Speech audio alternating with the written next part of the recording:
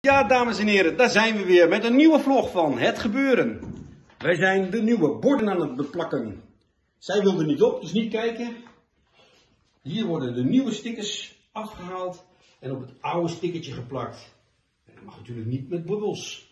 Want bubbels hebben we pas na de voorstelling, 6 en 7 maart. Zie je!